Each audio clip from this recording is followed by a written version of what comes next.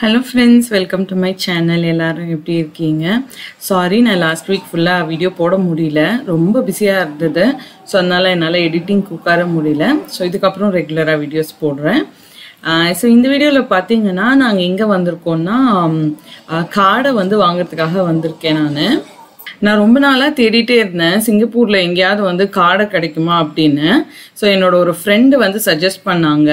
அவங்க சொன்ன இடம் வந்து பார்த்தீங்கன்னா ஜுராங் சென்ட்ரல் பிளாசா ஜுராங் வெஸ்ட்டில் ஸோ நானும் என் ஹஸ்பண்டும் வந்து ஜுராங் வெஸ்ட்டுக்கு வந்திருக்கோம். அங்கே இருக்க ஒரு வெட் மார்க்கெட்டுக்கு இது நல்ல பெரிய மார்க்கெட்டாக இருந்ததுங்க. இங்கே வந்து ஃபிஷ்ஷு மட்டன் சிக்கன் வெஜிடபிள்ஸ் எல்லாமே இருந்தது.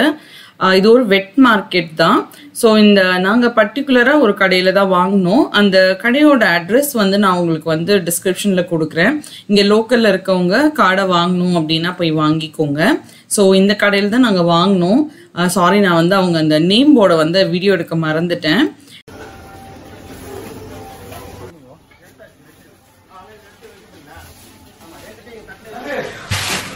வாங்கிட்டு வந்தாச்சுங்க. ஸோ இதுதான் அந்த காடை. இது வந்து பார்த்தீங்கன்னா ஒரு பேக்கெட்டில் பத்து பீஸ் வச்சுருக்காங்க. நான் வந்து ரெண்டு பேக்கெட் வாங்கினேன். பத்து காடை வந்து இருபத்தி ரெண்டு டாலர் சொல்கிறாங்க இது வந்து ஃப்ரெஷ் தான் உங்களுக்கு. ஆனால் அவங்க வந்து நைட்டே ஸ்லாட்டர் பண்ணி வர்றதுனால அப்படியே வந்து உங்களுக்கு ஃப்ரீசரில் வச்சுருவாங்களாம். ஸோ நம்ம கேட்டோன்னே எடுத்து கொடுக்குறாங்க. பட் தண்ணியிலலாம் போட வேண்டாம். டைரெக்டாக நீங்கள் அப்படியே யூஸ் பண்ணிக்கலாம் அப்படின்னு சொன்னாங்க. இதை வந்து ஆல்மோஸ்ட் க்ளீன் பண்ணி தான் வச்சுருக்காங்க. ஆனாலும் கொஞ்சம் உள்ளுக்கெல்லாம் வந்து நம்ம க்ளீன் பண்ண வேண்டியதா இருந்தது. கூலியோட குட்டி வருஷன் மாதிரியே இருக்கு.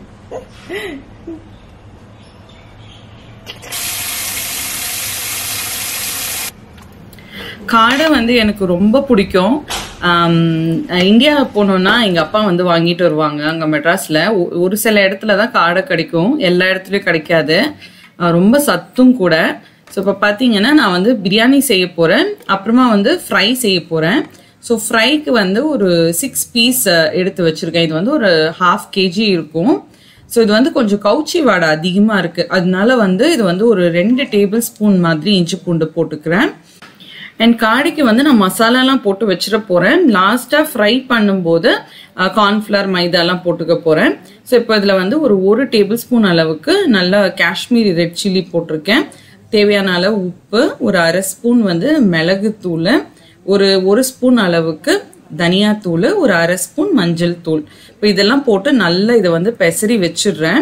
இது வந்து கொஞ்சம் கவுச்சி வாடை வந்து அதிகமாக இருக்குது சிக்கனை விட. ஸோ ஒரு ஒரு மணி நேரத்துலேருந்து உங்களுக்கு ரெண்டு மணி நேரம் ஊறினா கூட ஓகே. காடை வந்து சீக்கிரமாக குக் ஆகிடும் லெமன் புளியை மறந்துட்டேன். ஸோ ஒரு அரை லெமன் மாதிரி புளிஞ்சுக்கிறேன். ஸோ இதை நல்லா பெசரி இது வந்து ஒரு ஒரு மணி நேரத்துக்கு ஊற விட்டுறேன். ஃப்ரை பண்ணும்போது கார்ன்ஃப்ளவர் மாவு போட்டு அது வந்து ஃப்ரை பண்ணிக்கலாம். அப்போ தான் நல்லா கிறிஸ்பியாக இருக்கும். இப்போவே கார்ன்ஃப்ளவர் போட்டால் அதுக்கப்புறம் அது ஒரு மாதிரி தண்ணி விட்ட மாதிரி ஆயிடும். அப்புறம் திரிஞ்சு திரிஞ்சு வந்துடும் ஸோ அது ஊறட்டும். இப்போ பிரியாணிக்கு வந்து சட்டி எடுத்திருக்கேன். இதில் வந்து ஒரு ஒன் ஃபிஃப்டி எம்எல்லுக்கு எண்ணெய் ஊற்றிருக்கேன் கடலெண்ணெய் எடுத்திருக்கேன். இதில் வந்து ரெண்டு பட்டை ஆறு கிராம்பு ஆறு ஏலக்காய் போட்டிருக்கேன். ஸோ எண்ணெய் சூடாகி கொஞ்சம் அது பொரிஞ்சதுக்கு அப்புறமா இது வந்து ஒரு அறநூறு கிராம் வந்து வெங்காயம் வந்து நல்ல மெலீஸாக ஸ்லைஸ் பண்ணி வச்சுருக்கேன். அரை கிலோ எடுத்துக்கலாம். நான் வந்து ஒரு அறநூறு கிராம் எடுத்திருக்கேன். இந்த வெங்காயத்தை வந்து நல்லா ப்ரௌனாக வதக்கிக்க போகிறோம்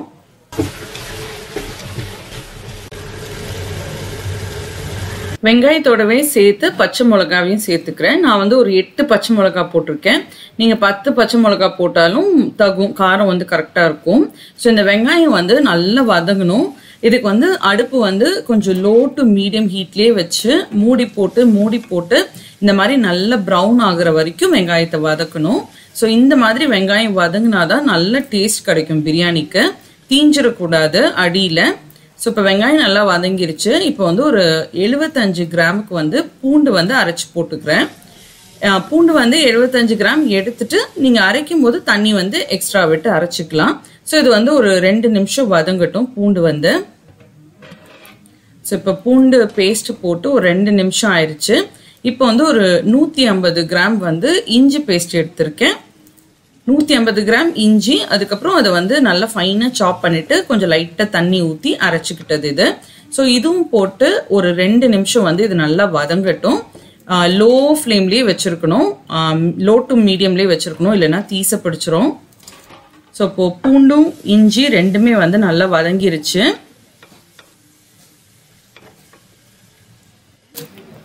நெக்ஸ்ட்டு ஒரு அரை கிலோ தக்காளி ஒரு கைப்பிடி கொத்தமல்லி ஒரு கைப்பிடி புதினா. இது மூணையும் இதில் ஒன்றா சேர்த்துக்கிறேன்.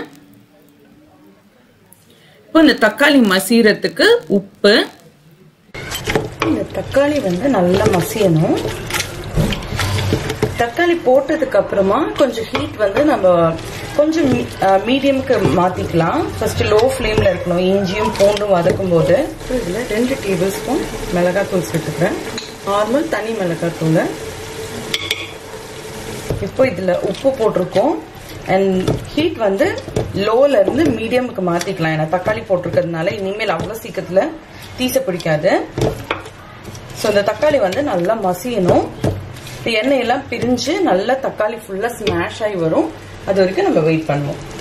ஸோ இதை மூடி போட்டு தக்காளி நல்லா மசிய வரைக்கும் குக் பண்ணலாம். ஒரு ஃபைவ் மினிட்ஸ் ஆகும். இப்போ பாருங்க இந்த மசாலா நல்லா குக் ஆகி எண்ணெயெல்லாம் நல்லா பிரிஞ்சு வந்திருக்கு. இப்போ வந்து ஒரு நூறு எம்எல் மாதிரி தயிர் சேர்த்துக்கிறேன். தயிர் வந்து ரொம்ப புளிப்பாக இருக்கக்கூடாது. அந்த மாதிரி போட்டால் அப்புறம் பிரியாணி வந்து ரொம்ப புளிப்பாயிடும். ஏன்னா லாஸ்ட்ல வந்து நம்ம லெமன் ஜூஸும் சேர்த்து ஆட் பண்ணுவோம். அது மாதிரி தயிர் வந்து கம்மியாக தான் போடணும். ரொம்ப அதிகமாகவும் போட்டால் புளிப்பு டேஸ்ட் வந்துடும் ஸோ இப்போ தயிர் போட்டு கலந்ததுக்கு அப்புறமா நான் அந்த கழுவி வச்சிருந்த காடையை வந்து இதில் சேர்த்துக்கிறேன். ஸோ காடு வந்து உடனே குக் ஆயிடும் ரொம்ப நேரம் ஆகாது. சிக்கனை விட சீக்கிரமா குக் ஆயிடும். அதனால இதை ரொம்ப நேரம் குக் பண்ணணும்னு அவசியம் இல்லை. ஆனால் இந்த காடையோட இந்த மசாலாலாம் சேரணும். அதனால வந்து ஒரு அஞ்சுல இருந்து ஒரு பத்து நிமிஷத்துக்கு இதை மூடி போட்டு கொஞ்சம் லோ டு மீடியம் ஹீட்லேயே வந்து இதை குக் பண்ணுவோம். ஸோ அந்த மசாலாலாம் அந்த காடையில் அப்போ தான் நல்லா ஏறும். ஸோ பக்கத்து அடுப்பில் வந்து நான் ரைஸ்க்கு வந்து தண்ணி வச்சுக்கிறேன். ரைஸ் வந்து ஆல்ரெடி பாஸ்மதி ரைஸ் வந்து நான் வாஷ் பண்ணி வச்சுருந்தேன். ஒரு அரை மணி நேரமாக ஊறிட்டு இருந்தது. ஸோ இது தண்ணி கொதிச்சதுக்கப்புறம் இந்த ரைஸை வந்து இதில் சேர்த்துக்கிறேன். ஸோ போ தேவையான அளவு உப்பு போட்டுட்டு ரைஸ் வந்து ரொம்ப நேரம் உங்களுக்கு கொதிக்கக்கூடாது. நீங்கள் தண்ணியில் போட்டதுலேருந்து ஒரு ரெண்டு நிமிஷம். அதுதான் உங்களுக்கு கணக்கு. கரெக்டாக ரெண்டு நிமிஷத்தில் இந்த ரைஸை வந்து நான் இந்த தண்ணியிலேருந்து வடிச்சிட போகிறேன் ஏன்னா நான் வந்து தண்ணி கொஞ்சமாக ஒரு ஒரு லிட்டர் தண்ணி ஊற்றி அதில் தான் இந்த ரைஸை தம் வைக்க போகிறேன் ஸோ நீங்கள் இதில் ரொம்ப குக் பண்ணிட்டோம்னா அதுக்கப்புறம் ரைஸ் வந்து ரொம்ப குழஞ்சிரும். அதனால அரிசி போட்டதுலேருந்து ஒரு ரெண்டு நிமிஷத்தில் ரைஸை வந்து வடிச்சிடலாம். இப்போ இந்த மசாலா வந்து நல்லா குக் ஆயிருச்சு பாருங்க. இந்த காடை வந்து அந்த மசாலாவோட நல்லா வந்து எண்ணெய்லாம் பிரிஞ்சு வந்துருச்சு. இப்போ இதில் ஒரு லிட்டர் தண்ணி வந்து அளந்து ஊற்றிக்கிறேன் ஒரு கிலோ பிரியாணிக்கு ஒரு லிட்டர் தண்ணி அரை கிலோ பிரியாணினா அரை லிட்டர் தண்ணி ஊற்றலாம் ஸோ இப்போ தண்ணி வந்து கொதிக்கட்டும். கொதிச்ச பிறகு அந்த வடிச்ச ரைஸை வந்து இதில் கொட்டிடலாம். இப்போ தண்ணி வந்து நல்லா கொதிக்குது. கொதிக்க ஸ்டார்ட் ஆனானே நம்ம வந்து ரைஸை வந்து கொட்டிடலாம் இதில். ஸோ இப்போ வடித்து வச்சுருந்த ரைஸை வந்து இதில் கொட்டிடலாம்.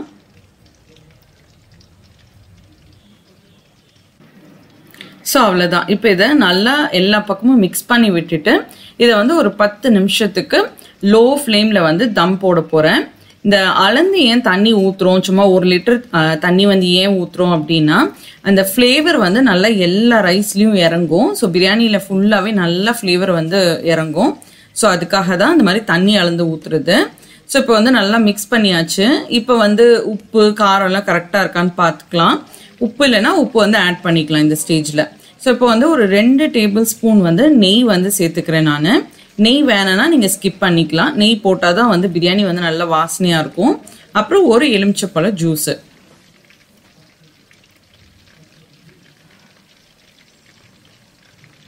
ஸோ இதில் கலர் வேணும்னா கலர் போட்டுக்கலாம். நான் வந்து கலர் போடல. ஸோ இப்போ வந்து இது மேலே வந்து அந்த வடித்த கஞ்சி தண்ணியை வச்சு இதை வந்து ஒரு பத்து நிமிஷத்துக்கு நான் வந்து தம்மில் வைக்க போகிறேன் ஸோ அது வந்து தம் ஆயிட்டு இருக்கட்டும் இப்போ வந்து காடைக்கு வந்து நான் வந்து எண்ணெய் வந்து ஊற்றிக்கிறேன் ஸோ காடை வந்து நல்லா முங்கி ஃப்ரை ஆனாதான் நல்லா இருக்கும் நல்லா நிறைய எண்ணெய் ஊற்றிருக்கேன் அப்புறம் காடையை ஃப்ரை பண்ணுறதுக்கு முன்னால் தான் வந்து இந்த மாதிரி பேட்டர் வந்து மிக்ஸ் பண்ணிக்க போகிறேன் ஸோ அதுக்கு வந்து ரெண்டு டேபிள் ஸ்பூன் மைதா ரெண்டு டேபிள் ஸ்பூன் கார்ன்ஃப்ளவர் எடுத்திருக்கேன். அப்புறம் கலருக்கு வேணும்னா நீங்கள் கொஞ்சம் கேசரி கலர் போட்டுக்கலாம். நான் வந்து கொஞ்சமாக வந்து காஷ்மீரி மிளகாத்தூள் சேர்த்துருக்கேன். கொஞ்சமாக கலர் கூட சேர்த்துருக்கேன். அப்புறம் கொஞ்சமாக தண்ணி ஊற்றி தண்ணி ஊற்றி இதை வந்து ஒரு கொஞ்சம் திக்கான பேட்டராக வந்து இது மாதிரி நல்லா குழச்சி எடுத்துக்கலாம். ஸோ அந்த காடை வந்து இதுலேயே நல்லா மிக்ஸ் ஆயிடணும். ஸோ இப்போ நம்ம ஆல்ரெடி ஊற வச்சுருந்த இது வந்து ஒரு மணி நேரமாக ஊறிட்டுருக்கு இந்த காடை. இதை வந்து இதில் போட்டு நல்லா மிக்ஸ் பண்ணிக்கலாம். ஸோ எண்ணெய் வந்து ஆல்ரெடி ஊற்றி வச்சுருக்கேன். அது வந்து காஞ்சிட்ருக்கு எண்ணெய். ஸோ அதுக்கப்புறம் தான் இந்த பேட்டரியை வந்து நான் ரெடி பண்ணேன். ஸோ பாருங்க இந்த மாதிரி இருக்கணும். இந்த பேட்டரி வந்து ரொம்ப தண்ணியாகவும் இருக்கக்கூடாது ரொம்ப திக்காகவும் இருக்கக்கூடாது. ஸோ இப்போ இதை வந்து நம்ம எண்ணெயில் வந்து போட்டுடலாம். எண்ணெய் வந்து நல்லா சூடாயிருச்சு. இந்த காடை வந்து சீக்கிரமாக குக் ஆகிடும் ஒரு அஞ்சு ஒரு பத்து நிமிஷம் நீங்கள் வச்சீங்கன்னா ஓகே ஸோ ஒரு அஞ்சு நிமிஷம் ஒரு பக்கம் அப்படியே விட்டுருங்க அதை டிஸ்டர்ப் பண்ணாமல் அதுக்கப்புறமா திருப்பி போட்டு இன்னொன்று ஒரு அஞ்சு நிமிஷம். ஸோ பத்து நிமிஷத்தில் இந்த காடையை நீங்கள் எடுத்துடலாம். சிக்கனை விட சீக்கிரமா குக் ஆயிடும். சிக்கனோட கம்பேர் பண்ணால் காடை வந்து ரொம்ப ஹெல்த்தி அண்ட் ஆர்கானிக் கூட. ஸோ நான் இங்கே எங்கே தான் கிடைக்கும் அப்படின்னு நான் நினச்சிட்டு இருந்தேன். நான் இந்தியாவிலேருந்தெல்லாம் இந்த காடெல்லாம் எடுத்துகிட்டு வருவேன். ஸோ இப்போ பார்த்தீங்கன்னா எனக்கு இங்கேயே கிடைக்குது காடை. எனக்கு இவ்வளோ நாள் இது தெரியவே தெரியாது. காடை இங்கே வந்து ஃப்ரெஷ்ஷாக கிடைக்காது அப்படின்னு தான் நான் நினச்சிட்டு இருந்தேன். ஸோ என் ஃப்ரெண்டுக்கு வந்து ரொம்ப தேங்க்ஸ் ஸோ இனிமேல் அப்போ அடிக்கடி வந்து நான் வந்து இங்கே காடை வாங்குவேன். ஆனால் எனக்கு கொஞ்சம் எக்ஸ்பென்சிவாக இருக்குது ஸோ அப்பப்போ வாங்கிக்கலாம். சிக்கன் நம்ம வாங்குறதுக்கு. ஸோ இது வந்து இப்போ ஃப்ரை ஆயிடுச்சு நான் வந்து எடுத்துடுறேன். ஒரு டென் மினிட்ஸ் ஆச்சு இந்த காடை வந்து ஃப்ரை ஆகிறதுக்கு. இங்கே பிரியாணி வந்து தம்ல வச்சு ஒரு பத்து நிமிஷம் ஆயிடுச்சு. இதுக்கப்புறம் நான் அடுப்பை ஆஃப் பண்ணிட்டு இந்த சட்டி வந்து அப்படியே மூடினபடியே விட்டுற போகிறேன் பட் அதுக்கு முன்னால் உங்களுக்கு இதை வந்து காட்டுறேன். ரைஸ் வந்து எந்தளவுக்கு குக்காக இருக்குன்னு ஸோ பாருங்கள் நல்ல வாசனையாக இருக்குது ஆக்சுவலி இந்த இந்த அரோமா தான் நமக்கு முக்கியம். இதை வந்து விட்டுறக்கூடாது ஸோ அதனால இது நல்லா டைட்டாக மூடியே இருக்கணும். ஸோ அடுப்பு நான் ஆஃப் பண்ணிட்டேன். ஆஃப் பண்ணி இன்னொன்று ஒரு பத்து நிமிஷம் இது அப்படியே இந்த கஞ்சி தண்ணியை மேலே வச்சு அப்படியே விட்டுற போகிறேன் ஸோ இது வந்து இன்னும் ஒரு பத்து நிமிஷம் அப்படியே இருக்கட்டும்.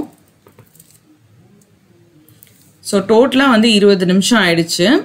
அடுப்பில் தம் வச்சு ஒரு பத்து நிமிஷம். அதுக்கப்புறம் அடுப்பை ஆஃப் பண்ணி ஒரு பத்து நிமிஷம்.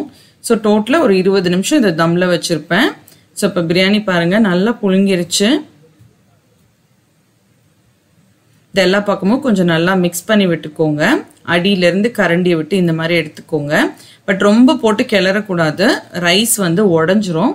ஸோ இப்போ நம்ம சர்வ் பண்ணிடலாம். ஸோ பார்க்கறதுக்கே சூப்பராக இருக்குது நல்ல வாசனையாகவும் இருந்துச்சு. நான் கலர் எதுவுமே போடல பட் சில்லி பவுடர் போட்டதுனால உங்களுக்கு வந்து நல்லாவே கலராக இருக்குது.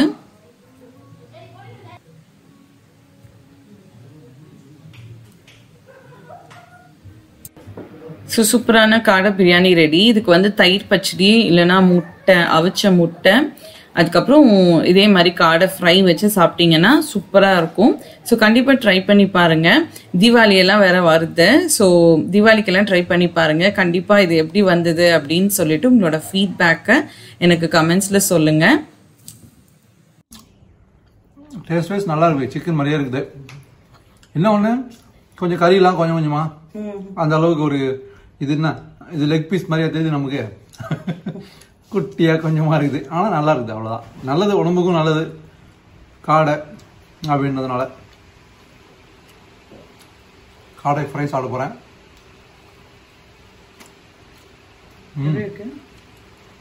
ஃப்ரை சூப்பராக இருக்குது ஸோ நீங்களும் கண்டிப்பாக இந்த காடை பிரியாணி ட்ரை பண்ணி பாருங்க. ஆஹ் இங்க லோக்கல்ல இருக்கவங்க கண்டிப்பாக அந்த கடையில் போய் செக் பண்ணுங்க. ஸோ இன்னொன்று ஒரு வீடியோவில் பார்க்கலாம். அது வரைக்கும் பாய்